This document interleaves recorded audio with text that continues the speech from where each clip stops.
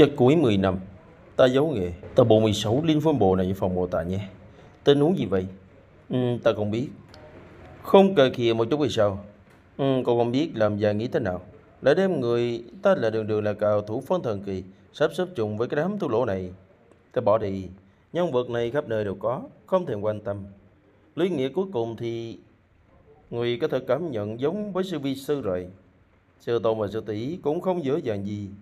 Sắp đến rồi ừ. thì tình trồng phá. Thật cái giá gì trời? Kia là không thế nào. Người chết sao lại có thể sống lại được? Thật cái giá vậy? Thân sợ là quân.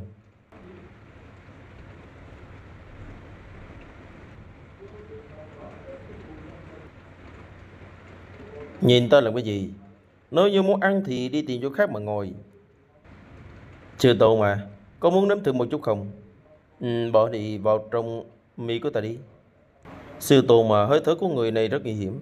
Hắn rốt cuộc có lai lịch như thế nào vậy? Liên Nguyệt, vì sao cũng không phải là toàn năng. Sao có thể chuyện gì cũng biết được chưa? Nhưng mà đồ đó sao ngươi lại sợ thành như vậy rồi? Ngươi biết được gì sao? Sư tôn, người vừa nãy là tà tù độ kiếp đỉnh phòng 200 năm trước đến lớn phương hải vực. Vì đã gây hòa cho ba phủ xung quanh, quán làng, ép kết tùng môn thế gia lớn liên hợp bài giết. Nam lạng già chúng ta tham dự vào trong đó, nhưng kẻ đi không quay trở lại. À nói như vậy thì có lẽ hắn sắp phi thang rồi. Phiền phức của Lâm già xem không nhỏ đây nha. À không không sư tôn. Thanh sợ lần quân đã chết rồi. Chết rồi, với bây giờ người này là ai? Đệ tử chỉ nghe nói từ chỗ của phụ thần nằm đó. Làm giờ tiền tổ cũng đoàn quý vô tận mới tiêu diệt được thanh xà là quân này. Người chết 200 năm trước đó sống để báo thù à? Có chốt thú gì đấy? À được rồi, liên nghiệp rồi đã. Hãy cùng vi sự đi xem kịch thôi. Xem kịch gì cơ? Thương phẩm linh già. Thương phẩm linh già. Đương nhiên là kịch hay chó căn chó rồi. Bốn tù hôm nay bận rộn đặc biệt đến chúc mừng lão tổ nhà người pha cảnh. Sợ thế? Không hôn ngôn à? Đi không thế nào. Hai trăm năm trước, ta tận mắt nhìn thấy người đã bị gió tổ chim chết. Người rút cô lại. Đứa trẻ này của nhà người cũng trưởng thành sớm đây. Đây là cha của ta, Lâm Thành. Tìm lão tổ Lâm Thành của nhà người đến đi. Nói với hắn thì thánh xạ lần quân ta đã đến rồi. Cút về đi, lão tử chính là Lâm Thành. Chờ tuyệt vợ lúc mấu chốt này Thân sợ lần quần này lấy cơ thể để chết lão tổ vào làm già sợ hắn như vậy sao? Tự ơn, người tới. À vâng. Ngươi cứ cầm lấy tấm lệnh bài này nhanh đi cầu cứu các tàu môn lớn. Tự ơn xin nghe theo mệnh lệnh của lão tổ. Lời áp của đại năng này ngang bằng với lão tổ. Không không, nói công chừng còn cao hơn một bậc. Xem lão tổ sợ thể như vậy kìa. Nơi như lão tổ không chịu được giúp ta đối phó được với thư viện Thanh Hồng. Không chỉ giúp ta giáo huấn cái tên bịch lăng trường chết tiệt kìa. Thánh sợ là quần còn mạnh hơn cả lão tổ Ui chớ tiệt Bạch lăng tròn Bạch lăng trân chết tiệt đi Hôm nay ta phải để cho người chết. Khí trưởng của người Cũng đã đủ giờ người rồi. Con rắn đó lớn hơn yêu hóa. Nhưng mà sư tồn mà Chúng ta làm như vậy thật sự không bị phát hiện đúng không? Yên tâm đi Thủ đoạn của sư tồn Chứ dù là địa cầu Ở địa tiền Đều không phát giác ra được. Thủ đoạn ở cào thì cũng có tất Tất quái tất quái, yên tâm anh vừa đi. Vị ngọt quá, danh sư tồn Lâu lâu cậu, người khách như ta đã đến ngồi xuống rồi mà không nhìn chóng quỳ xuống hầu hạ sao? Tờ tục, ngươi đường hồng kiều mạng. Chính nghĩa đạo sĩ chúng ta 200 năm trước là có thể giết người 200 năm sau thì vẫn có thể lấy cái mạng chó của người. Đền rắm của người đi, lão già người. Mình là cái thá gì chứ hả? Thanh xà thượng tiền. Ừ, tử ẩn. Diệp tử ẩn. Người tìm chết Lời là cậu Hãy nghe người khác nói xong rồi đã Ngươi có chuyện gì? Ở đó tạ thường tiền đã tài thì câu giúp. Ở thiếu nhận là muốn tặng quà Thân sợ thượng tiền đây là lông đình hường một 500 năm Vốn chỉ là quà tặng cho lão già kia. Lần này xem như là mượn hoa dân Phật rồi. Ngươi hầu Người có chút thú vị đấy. Món quà này ta nhận rồi. Hôm nay à, bốn tôm nhất định sẽ báo về ngươi chú Toàn, tạm thời lui xuống đi. À đi đi, vì tiêu nhận sẽ đi chuẩn bị thơm điểm tâm cho ngài. Đây nhất định là thanh xà thường tiền đã công nhận mình rồi. Lão tử cuối cùng cũng không cần phải xem ánh mặt của lầm già nữa. Bạch lạc rồi, ngồi đỡ đi cho lão tử. Diệp Tử ồn, ngươi cho rằng phản bội thì có thể sống được bao lâu? lâu hơn ngươi là được rồi, cái đồ khổ kiếp. Đó đó đó, đầu giữa của người cho ta mừng cái. Ủa sư tổ mà muốn nói làm cái gì? Vì muốn giúp Diệp Quỳnh một lần. Đi đi. Ừ. Sức mạnh tràn lên rồi. Tiêu nhân, Diệp Tử ẩn đã tạo thánh sợ thường tiền là bằng phúc. Đây chính là sức mạnh của tà tu sầu, đúng là quá mạnh rồi. Diệp Tử ẩn phân thần kỳ. ta đã đột phá đến phân thần kỳ rồi. Hôm nay ta sẽ để cho các người biết, Diệp Tử ẩn ta cũng không kém gì so với lâm thiên chủ các người. Khốn kiếp, đừng kích động, bây giờ vẫn chưa đến lúc đầu. Chà, không những cơ hội này bây giờ cảnh giới của hắn không đủ mà đến chết. Sau này sẽ phiền phức lớn đi Bây giờ khí cờ của thành xà đã có chúng ta rồi. Cho hở ngươi đồng thủ sẽ lập tức bị bắt đi. Ta không chỉ để cho Diệp Tử ẩn một mình đi đưa lệnh bài. Qua một lúc nữa thôi thì chi viện sẽ tới ngày. Chất liệu tốt như vậy ở trong lòng dạ của người cũng đã bị che phủ. Làm lão cổ mắt nhị của người cũng không được rồi. Trên người có tên tỷ tử này lại có sức mạnh không biết tên. Ngược lại có vài thân phần tương tự như ta. Vừa hay cái thời mượn cơ hội này để sỉ nhục lâm gia một phen. Sư tôn mà, ngươi không cảm thấy vui vì đồ như đã phá cảnh này sao? Bây giờ ta còn mạnh hơn rất nhiều so với đứa cùng trai. Của người chỉ biết chơi nữ nhân rồi đấy. Ta khinh, kẻ hàng nhát làm chó của ta tù, người gom xứng làm đu đĩa của ta. Chờ, vừa nãy là đông tĩnh gì vậy, xảy ra chuyện gì thế? Lâm thiếu già, làm người tính chất tự ở trong chân của nữ nhân rồi ư. Chị nhì, máu chạy đi. Người lời nộp mạng của người đi. Thế sợ ngươi đừng có mà qua đáng. Trấn Nam cẩn thận phía sau. Chị nhi, cút đi. Lâm thiếu già đến lúc lên đường rồi. Thật đúng là một cảnh tượng cảm động của tình cha con Đa tiếc, đa tiếc Chi Nhi Sư tôn người vẫn chậm một bước rồi. Chi Nhi Thế sao Hôm nay cho dù ta phải liều cảnh giới rớt xuống Cũng phải chém chết ngươi. Đền mạng cho cháu trai của lão phu. Chị mới chết có một thằng cháu trai Mà đã gấp gáp như vậy rồi sao? Thành Phách Nhi Lâm lộ cậu người đã từng nghĩ qua tất cả mọi chuyện hôm nay báo ứng mà ngươi có được hay sao? Thật hình, ta tú đưa tiền cùng dám núi mấy cái lời báo ứng với ta sao? Sư tôn làm già mặc dù ngông cuồng vô lỡ một chút, nhưng dù sao cũng là dành một dinh phái. Chúng ta thực sự có mặt kệ để cho tờ tụi kia tan sát bừa bãi không quản sao. Tờ tu này hình như còn có ngọn nguồn, với làm già đi. Bay cao quá, có chút nghe không rõ. Lần này có thể ăn tiền được hai lần rồi. À, giúp là nửa tình, không giúp là bổn phận. Người xem những cách quý đến kia không phải chạy nhanh hơn rồi sao? Cũng không thể nói như vậy được. Trừ ma về đạo, người người đều có trách nhiệm. Vì sự cũng không dự định để cho làm già bị giật môn. Bây giờ đã đến lúc chúng ta còn phải ra tay rồi. À được, tập trung một chút đừng để làm già chịu chết. Vì sự đi chút rồi về. Tôi mệnh. Làm là cổ, bây giờ ngươi quỳ xuống xin ta tứ. Nói công chừng ta chỉ tha cho ngươi một con đường sống. Lão phù hôm nay chứ dù chết thì cũng vào chính đạo mà chết. Thì đó cũng cúi đầu trước tà tu Chính đạo? 50 năm trước Ngươi vì chút lợi ích còn còn mà cứ ép con gái của người, Lâm Diệu Huyền gả cho lão già. Có thể gọi là chính đạo hay không? Đêm đại hồn Ta đưa cô ta chạy trốn. Các ngươi dẫn người đi sát đến lui đình nhầy Ép chúng ta phải chết. Vì tình yêu mà cũng gọi là chính đạo sao? Nếu như vì từ lợi muốn làm gì thì làm. Cũng là chính đạo vậy hôm nay Ta chỉ vì người vợ đã chết của ta, Mà sang bằng làm già cũng là chính đạo. Lợ quý Ký thuận thiến. Ta chính là truyền nhận của thánh xà quần làng Ký thuận nhẹ Mà người quen sớm đã nhảy xuống vực chết cùng với Diệu hiền ở trong đêm đó rồi.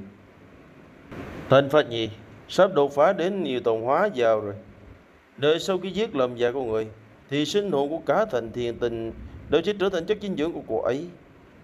Đây Cũng xem như là đền tội cho ngươi rồi. Linh hồn luyện ngục. Người điên rồi sao? Thành thiên tinh ngoại trừ tù giả Còn có hàng nghìn hàng giả người phàm. Ngồi muốn giết cả thành sao? Ta tụi các người làm điều ác Không sợ dính phải nhận quả chịu tiếng phạt sau Ít nhất thì tà tù chính ta Lời điều ác chưa bao giờ che đậy, Không giống như cái đám nghị quần thử các người. Chỉ biết đứng sau lưng nói, Có trách, Thì trách các ngươi ban đầu không triệt để loại bỏ tà ma mà thôi. Sốt sinh Dùng chiêu này lão phụ cả đời Khó mà trở mình. Đấu chuyển tình gì, Đi chết đi. Hử?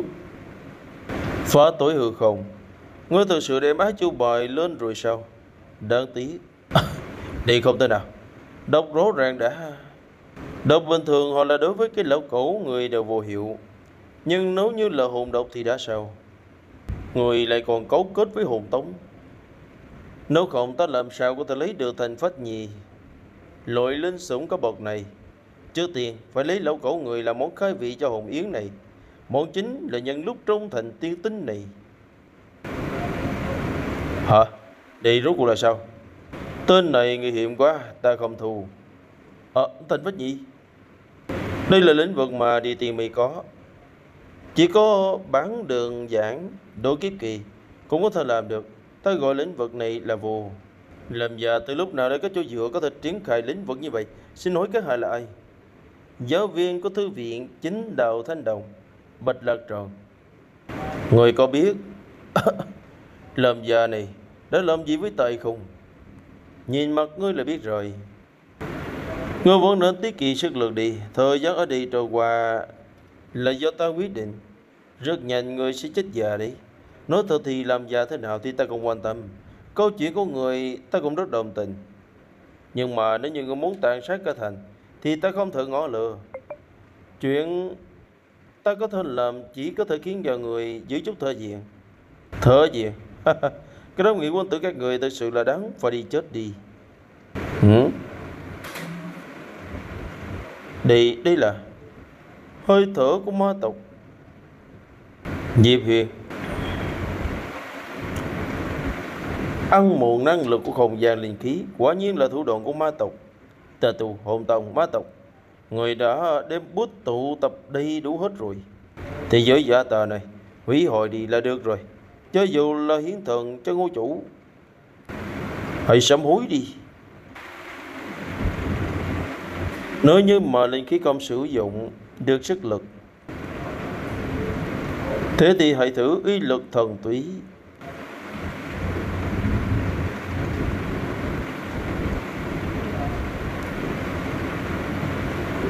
Chúc mừng cái vụ đã hoàn thành nhiệm vụ Danh được phần thưởng Chuyện phần thưởng để lát nữa rồi hãy tính.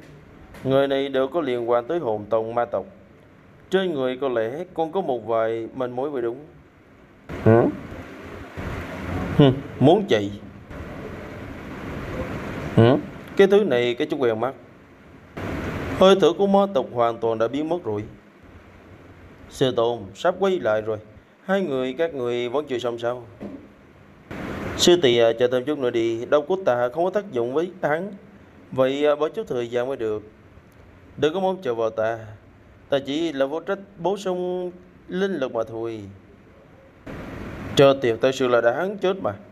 Nè để cái chị đông chị Tây nữa. Sư tỷ của ta đều không ghi nhẫn được nữa đâu. Nhanh đến đến với ta một trận đi Nếu không để sư tỷ sư tôn của ta đến rồi Thì ngươi chết chắc đấy. Chết tiệt. Đây là kịch đầu của thanh xà thượng tiền. Những người này sao lại giống như là không bị gì vậy? Nó đã không có tác dụng. Thế thì hãy dùng sức để giải quyết đi. Ừ, Ai sợ ai chưa? Ừ, Chạy trốn rồi sao? Gà mờ thì vẫn nên luyện thờ một chút đi. Yêu đan này có thể tăng cường nhục thần lợi hại như vậy. Lần sau phải để cho mộng Mật mộng chích tiền đó Cho mình mượn dùng một khoảng thời gian rồi. Liên nghiệt Thúi thả ngươi đừng mơ. Hả? Ngươi chạy rủi? Lửa còn không sợ không có củi đốt. Bà nội hắn chưa? Bạch lật trọn chết tiệt mà Thu nhận đủ đĩa sao lại mạnh tới như vậy? Ai vô thôi trùng hợp nha. Vừa nãy đang còn tính đi tìm người đấy bịch lật trốn Diệp Quỳnh đã đến lúc lên đường rồi à da Trước tiên ngươi đừng sợ Để cái thứ trên đầu của người nghĩ cách rồi tìm một chút Mong tí làm phiền rồi À nằm mơ đi Ta chỉ có cảm ứng được bảo vật thôi Sư Tôn ngươi quay lại rồi. Sư Tôn. Lê Nghiệt đời đó, tiểu mộng qua đây xem cái thứ này nè. Quen mắt không? Đó là không phải là bảo bối của tài sao? Người muốn ra lại cho ta sao? Đi, đi là... Cái này là ta tìm thấy ở trên sát của thanh đồng lan xà quần ma hỏi tiêu mộ mà, cái đó ngươi tìm... Cô ngươi từ đâu tìm được vậy? mở mối này khi ta còn đang đi du lịch Nam Hải phát hiện được ở trong một hòn cái, một cái thùng. Người ở đó hình như đều rất cung phụng thế này. Ta thấy bên trong có sức mạnh không biết tên, nên mới tò mò mượn để chơi. Năm đó lối vào ma tộc mà tập phong ấn cũng nằm ở Nam Hải. Xem ra hồn tâm và ma tộc này có dây dưa không tầm thường. Trước tiền hãy quay về thành loan phòng đã. Thành loan phòng. Ừ, tràn ra rồi. Cứ quen dần đi là được. Đến lớn nữa thì khi thu dọn xong hành lý thì ta sẽ đưa đó đó đi báo với viện trưởng tiền thở quà bay lỡ. Liên Nguyệt à, người đi đến khoa tướng nghệ tìm tư lặng, lần này không có cụ tà là không được. Chuyến đi này vô vả cho người, hãy chuẩn bị tâm lý trước. Sư tôn. Thỏ mà cũng biết tháo nhà sao? À, thì lục à, đang làm cái trò gì vậy ta? Nhiều cuối thực. Lầu tỷ à, ăn gà rô đi, để lâu rồi tỷ vẫn chưa ăn cơm. À, cảm ơn ta không ăn. Sẽ ra chuyện gì vậy? Sao lại để của khắp này thơ? Quỳ lật trần ca ca. Mang mang đâu rồi? Tiêu ô ngư tỷ. Ừ, chào. Lơ bà đà, ngươi ấy mau giúp đỡ đi. Lão đại của cô ta. ở đừng sợ. Nói từ từ thôi, rốt cô đã xảy ra chuyện gì? Lô tôn giả hết tình nên có màng màng các hạ còn nghiêm trọng hơn ta suy đoán. Mời đi qua đó chút. Đây là giọng của tư làng sao? Ừ, ta sẽ đi ngay. Mang mang. Mà mà sao lại biến thành như vậy? Ta đã dốc hết sức lực rồi. Lão đại. Tử lần mà màng đi là tình huống gì vậy? À, giáo viên Bạch. Nhìn có vẻ như giống như thần hồn phân ly. Giáo viên Bạch anh mình giống như ngài đã nói. Tình hình có thể còn màng màng các hạ còn đang bài xích linh hồn của cô ta. Ta chỉ có thể dùng câu hồn tình tạm thời khóa hồn phách lại, nhưng mà rất nhanh cũng sẽ không chịu đựng được. À, ta nhớ câu hồn tình là dùng sinh hồn để làm nhiên liệu, sinh hồn của người từ đâu ra? Lão đại, ta bổ sung sinh hồn cho gia súc của cả học viện, cho nên mới không duy trì được trong thời gian dài. Mà mà cả hạ thì đang con dựa vào tu vi để chống đỡ. Nếu như không có câu hồn tình duy trì, thì tinh hồn cầu diệt cũng chỉ là vấn đề thời gian mà thôi. Nhưng mà nếu như là ta dùng lượng lớn sinh hồn thì... À được rồi, không còn phải nói nữa. Tiếp tục người, tiếp tục vào người muốn đi đâu? Tránh ra. Ta nói là không tránh đi. Không tránh ta chỉ chém chết người thời mà màng là một người rất dịu dàng. Trên trên đầu của người cũng đừng có hồng nghĩ tới. Mùi phải làm sao ta không biết. Yên tâm đi, cứ giấu hết lại cho ta. Ờ, à, đi xong việc ta đã nói là không có vấn đề gì rồi mà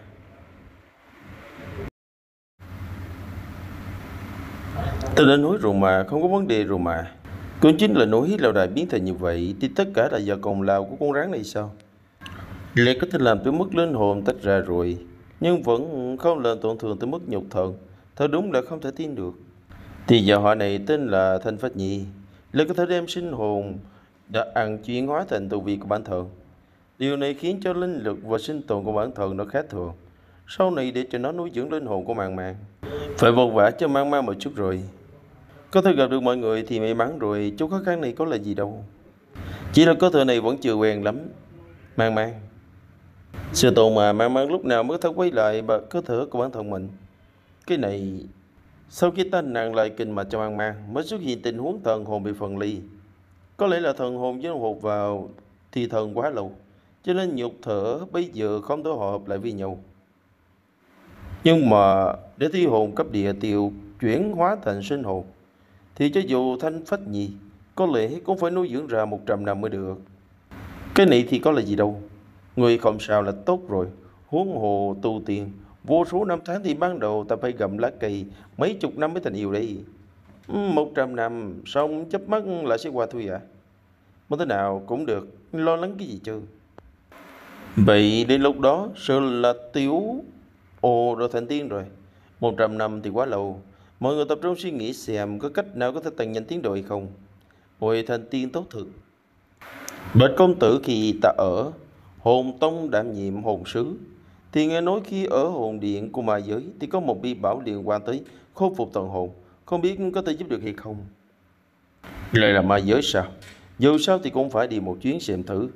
Đi đến hồn thần điện thuận lợi kiếm chút bảo bối cũng không sao. Đó hóa, tư lệnh tiểu lục bà. Người, các người cùng ta đi đến mà giới xem. Ừ, ừ ta cũng đi sau Ừ, tương lệnh. Tiếu mộng và Lý Nguyệt lại chăm sóc cho Tiếu ô và mang mang. Sư tồn sứ địa cũng muốn đi. Cuối cùng thì cũng được nghỉ phép rồi. Tri Nguyệt ngoan, bây giờ người thích ở bên cạnh cùng với mạng mạng chính là người đi. Đừng để người ta đi quá lâu. Tri Nguyệt trong nhà với tại nhà. Để tôi hiếu rồi sư tôn. Đồ đã dọn xong chưa? Ừ, tôi dọn xong rồi. Vậy thì tôi gọi thiên trùng phòng qua đây chuẩn bị xuất phát. À nhìn là một chút đi, lão tử đã không đợi được nữa đi đánh mấy cái tên ta tu kia rồi. À cái đó sư tôn. Ừ? Có gì gì vậy? Lo để sót lại đồ hay sao?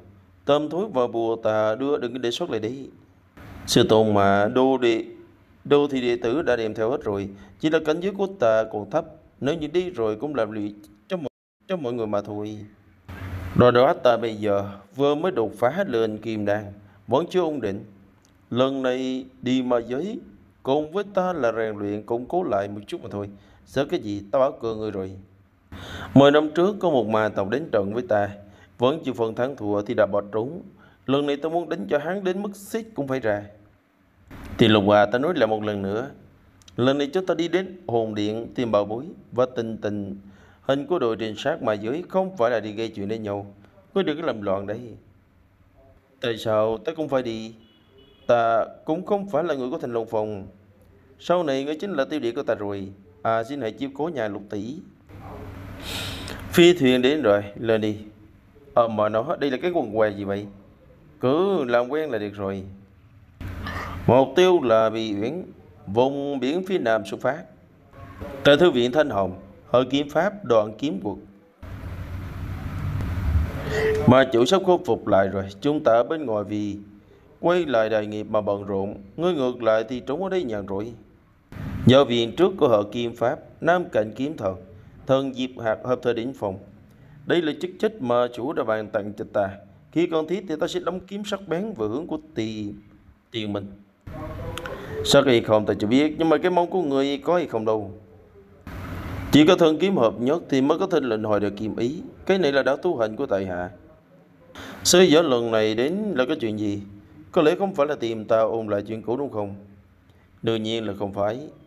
Thì tử thanh xà kia bị bại lộ rồi. Người của các người đã phát giác ra hoạt động của chúng ta. Bây giờ người có thư viện đề xuất phát đi biển bị Duyên. Người biết nên làm thế nào rồi đúng không? Là người có hệ nào? Thành lộ phòng ở phù lục. Phí vật bạch lạc trần, ta biết rồi.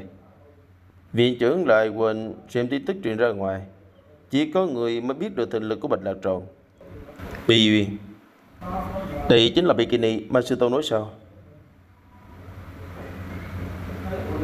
Mà cái thứ bó sát vào người lục phòng ngự lại thấp, Thật là không biết ngắn nghĩ cái gì nữa Chó rằng là một tỷ tỷ viết Thì có thể giải quyết được vấn đề mà Ừ, đã nói là ma khí xung quanh biến bi uyên đều sẽ ăn một linh khí.